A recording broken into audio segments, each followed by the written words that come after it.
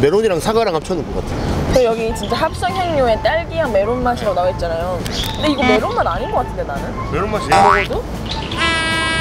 이 초록색은 상큼한데 여기 약간 달콤한 맛이잖아요. 초콜릿도 박혀 있고.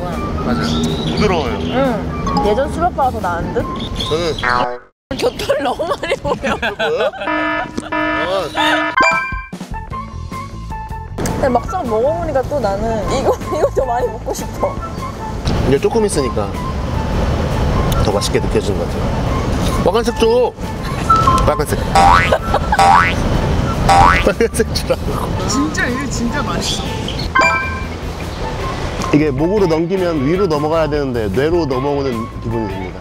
그래서 좀 더 시원하네요. 이렇게 드셔보세요. 뇌가 시원해지는 기분?